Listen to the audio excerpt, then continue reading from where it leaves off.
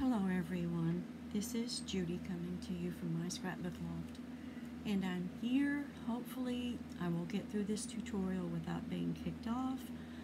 I uh, deleted my YouTube app on my iPad to try to make room for this because apparently it takes up a lot of room. But anyway, here we are with part 5 of the uh, chest backslash makeup box tutorial. And um, if you're new here, welcome. I hope you like uh, what you see, hear, and what you watch, and that you will return and visit us again. If you're a returning subscriber, welcome back, and thank you. Thank you all so very much. So we're going to do this again because the last video cut off on me as I was putting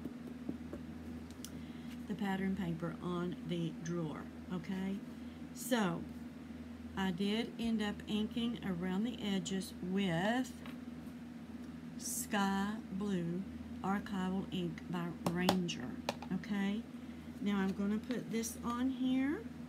I've got my, I'm using a handle that I got at Hobby Lobby out by the clocks department where you put your, make clocks. I've got my brads here and I'm going to take off one piece of this tape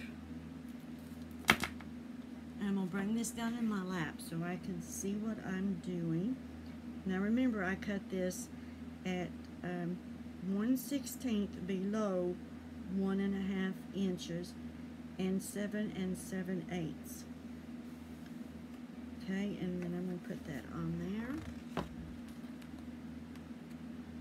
Now I'm going to remove the rest of the tape. I've got, I use score tape, you all. I've never had a problem with score tape turning loose, so now we're going to burnish that down. This is going to be the last uh, tutorial for this because I think the rest uh, is pretty much uh, you can do. Now half of one and a half is three quarters. So we're going to put this on three quarters and we know it's eight inches long so we're going to put it on four.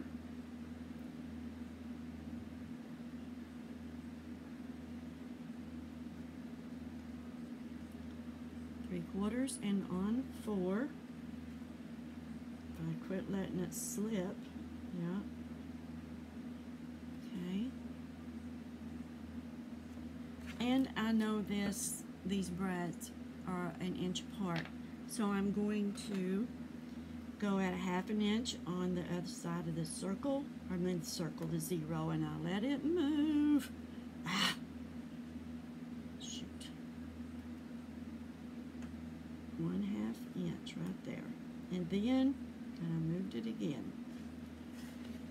We're going to go half inch on this side and take our piercing tool I marked it with it and now I'm going to put my holes through. I'm going to take some glue and I'm just going to put a glue dot on here around that hole.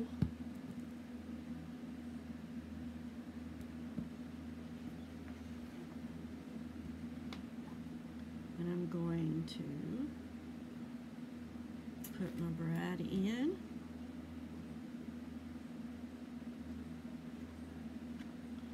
That side. And my brad in on this side. There we go. Lay them down. Spread them open and lay them down. And you all always take a little hammer. I've got a little hammer that I've had for be 18 years in November. And I just give these a little peck. Like so. And then I take my glue. I put some more glue on these brads. And I'm going to glue my chipboard Remember, this one is 1 and 3 eighths by 7 and 7 eighths because we want to just make the drawer stouter. I'm going to press that down.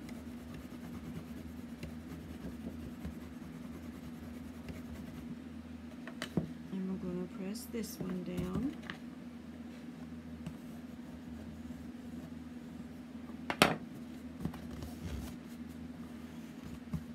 Make sure it's good and tight.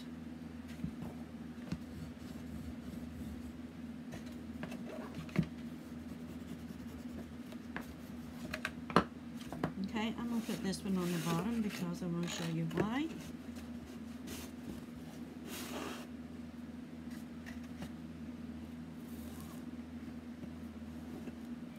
Here is the next drawer up. Get them lined up.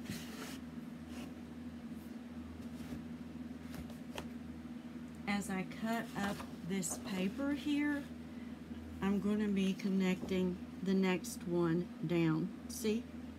Always cut it from the same side, same length, and you can match them up. See how that matched up there?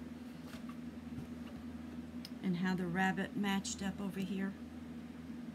The grass here, the vine here, the leaves, whatever you want to call it.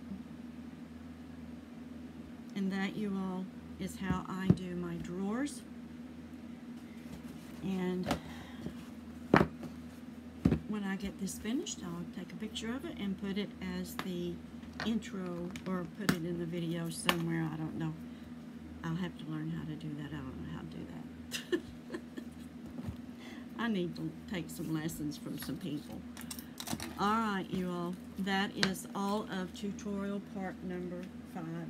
This is all of the tutorials that I'm going to do for this. It's up to you how you uh, dress it out. You can, if you want to, you can cut a piece to put over here and bring out a quarter of an inch and just box it and really dress it out. Or you can just leave it as it is. Now what I will do, more than likely, I'm going to wrap my paper around this. I'm just going to wrap it. I'm not going to do any painting. Mm, yeah, I believe I will do some painting too. I'm going to paint these edges. All these edges are going to need painting. So that's what I'm going to do. You can cover them with paper if you want to before you even put them on the on the box. It works that way too. I've done it that way. All right, this is Judy from my Scrapbook Loft signing off, saying thank you all for watching. Hugs to you from me, and God bless.